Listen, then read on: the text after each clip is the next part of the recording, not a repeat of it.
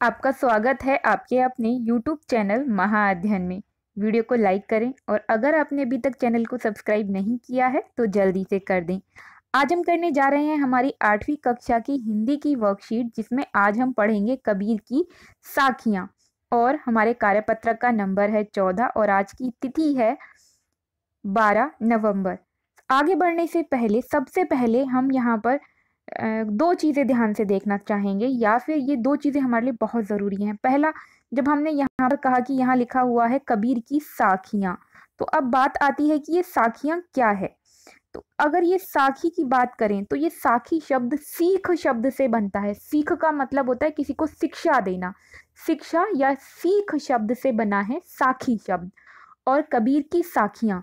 इन्हें साखियाँ इसलिए कहा जाता है कि जब भी हम कबीर के दोहों को पढ़ते हैं तो उन दोहों में एक सीख होती है। वो दो लाइन का, दो पंक्ति का दोहा और वो दो पंक्ति का दोहा हमें सीख देता है। इसीलिए कबीर के दोहों को साखियों के नाम से जाना जाता है। तो चलो शुरू करते हैं।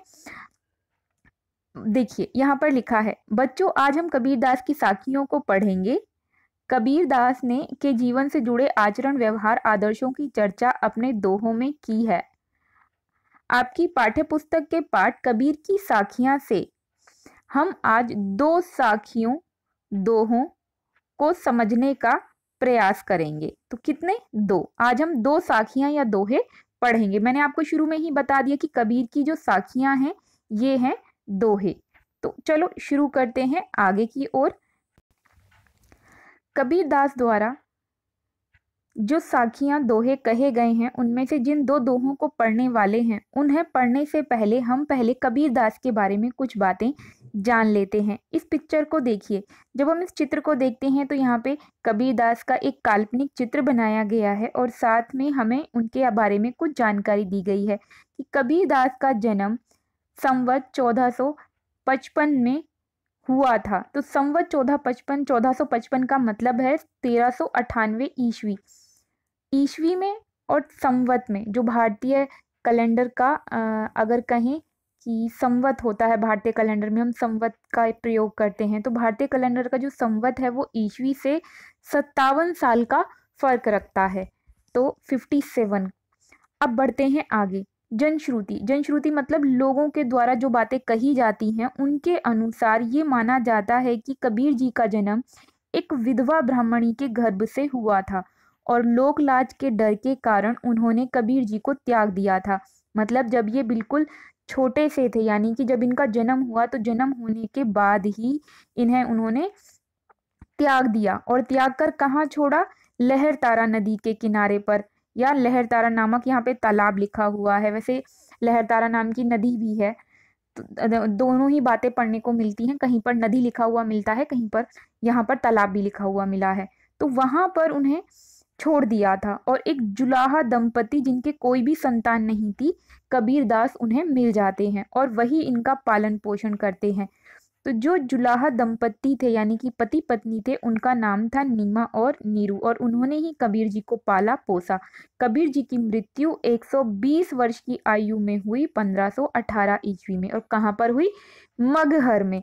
मैं आपको कबीर के बारे में एक इंटरेस्टिंग बात बता देती हूँ। रुचि वाली बात कि ये माना जाता था कि जो व्यक्ति काशी में मरेगा, वो सीधा स्वर्ग को जाएगा और कबीर दास आडंबरों का विरोध करते थे। इसलिए जब उनकी उम्र बहुत अधिक हो गई और उन्हें लगा कि मेरा अंत समय निकट आने वाला है तो वह स्वयं काशी में रहते थे। काशी से मगहर चले गए, क्योंकि लोगों का मानना यह था कि जो मगहर में मृत्यु जिसकी होगी वह नरक जाएगा। और इसीलिए वह काशी को छोड़कर मगहर में जाकर बस गए और मगहर में ही उनकी मृत्यु हुई। तो ये थे कबीर दास जी, जिन्होंने हमेशा रूढ़ीवादीता का विरोध किया। तो चलो शुरू करते हैं उन दोहों के बारे में, जिनकी बात हम कर रहे हैं कि आज हम कबीरदास के दोहे पढ़ने वाले हैं। तो सबसे पहला दोहा दिया गया है, जाति न पूछो साधु की, पूछ लीजिए ज्ञान, मोल करो तरवार का, पड़ा रहन दो म्यान।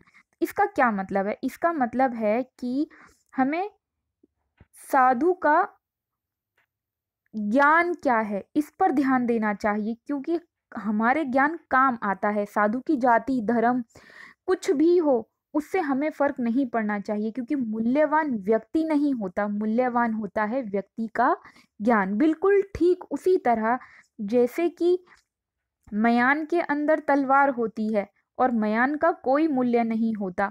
क्योंकि मयान के अंदर तो सिर्फ़ तलवार को रखना है। जब युद्ध की बारी आएगी तो मयान आपके लिए काम नहीं आएगी, आपके लिए काम आएगी तलवार।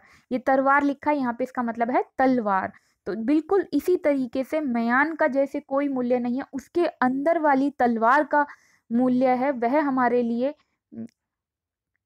उपयोगी है। बिल्कुल उसी तरह से व्यक्ति उपयोगी नहीं है, उसके अंदर जो ज्ञान है, वह उपयोगी है।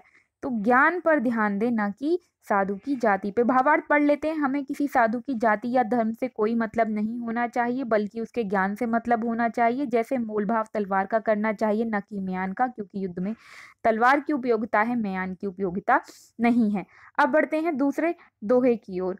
आवत गारी एक है, उलटत होई अनेक। आवत गारी यानी कि गाली, आती है एक, और बदले में हम चार दे देते हैं। या फिर हमें किसी, हमने किसी को एक दी तो सामने वाला हमें चार गाली पलट कर देगा।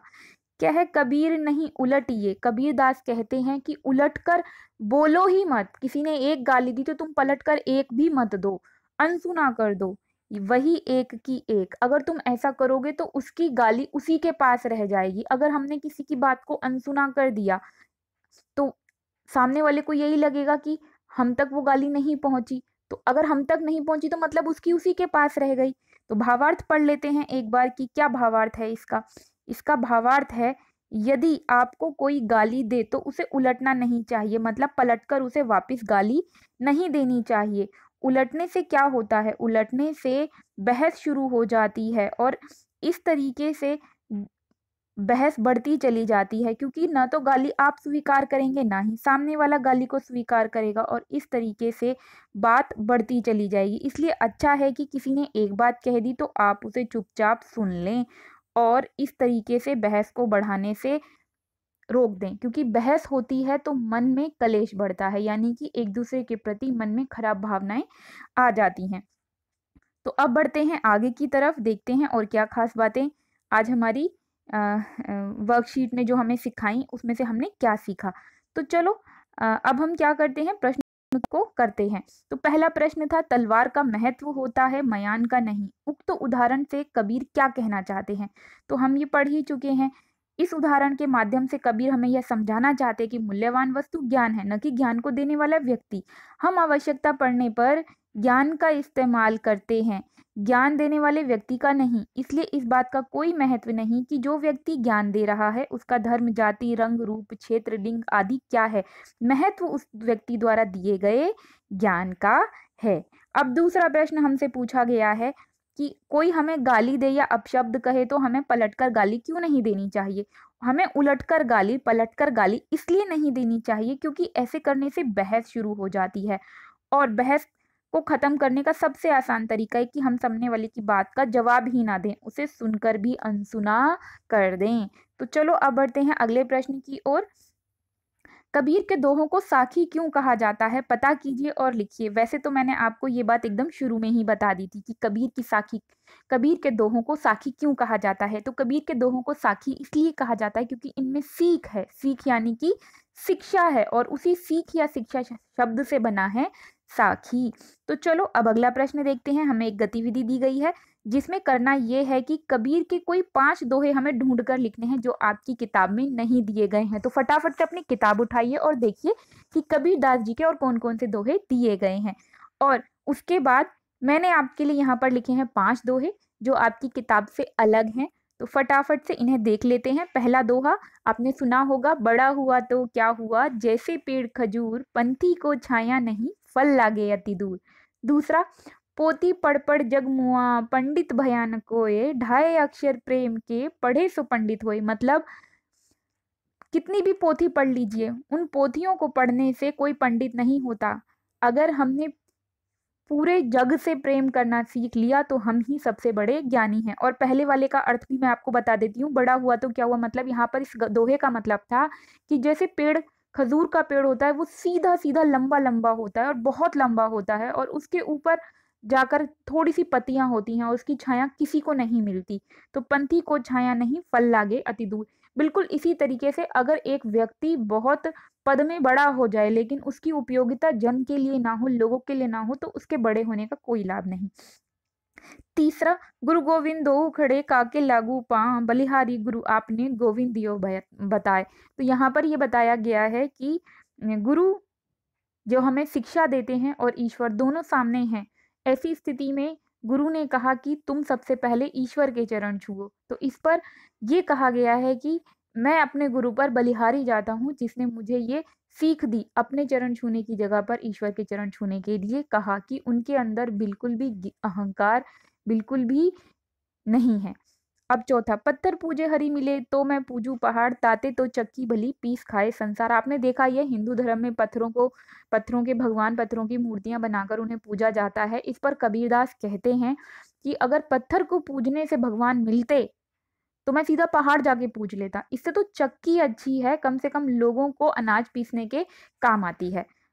उसके बाद पांचवा, काकर पत्थर जोड़ के मस्जिद लई बनाए तापर चढ़कर बांग देत का बहरा हुआ खुदाए यहाँ पर एक शब्द रह गया है, तापर चढ़कर मुल्ला बांग देत का बहरा हुआ खुदाए तो यहाँ पर बताया गया है कि कंकड़ पत्थरों को जोड़कर मस्जिद को बनाया जाता है और उसके बाद उसकी ऊंचाई पर जाकर मुस्लिम व्यक्ति, मुस्लिम धर्म का व्यक्ति वहाँ से अजान लगाता है। खूब ज़ोर से आवाज़ लगाकर अजान दी जाती है। तो उस पर कहा है कि क्या ईश्वर बहरा है जो तुम उसके ऊपर चढ़कर इतना शोर मचाते हो, उसे बुलाते हो? मतलब ये कि अगर आप ईश्वर को पाना चाहते हैं तो अपनी आत्मा के अंदर झांके, अपनी आत्मा के अंदर से ईश्वर को प्रेम करें। तो अब आपने देखा कि उन्होंने हिंदू थे या मुस्लिम थे, चाहे दूसरा धर्म था, चाहे धर्म के अलावा जाति, उन्होंने ऐसी कोई चीज़ नहीं छोड़ी जिसमें आडंबर पर उन्होंने कटाक्ष ना किया हो, प्रहार ना किया हो। तो चलो, ये थी आज की अच्छी सी, छोटी सी, प्यारी सी वर्कशीट मैं उम्मीद करती हूँ आपको इससे प्रश्न उत्तर करने में बहुत मदद मिलेगी। माई डियर स्टूडेंट मेरे प्रिय विद्यार्थियों, अगर आपने अभी तक वीडियो को लाइक नहीं किया है तो फटाफट से कीजिए और अगर आपने चैनल को सब्सक्राइब नहीं किया है तो आपकी वीडियो के नीचे आ रहा है रेड कलर का निशान, उसको क्लिक करते ही चैनल जाएगा। सब्सक्राइब, इसको एक ही बार सब्सक्राइब होना हो, करना होता है। उसके बाद आप अगर बेल को दबा देंगे तो आपको सभी वीडियो के नोटिफिकेशन मिलते रहेंगे। और फिर मिलते हैं ऐसी ही अच्छी सी प्यारी सी वीडियोस के साथ। लेकिन वीडियो को शेयर करना बिल्कुल भी ना भूलें, क्योंकि ज्ञान बांटने से बढ़ता है। तो फिर मिलते हैं, तब तक के लिए नमस्कार, स्वस्थ रहें, खुश रहें और धन्यवाद।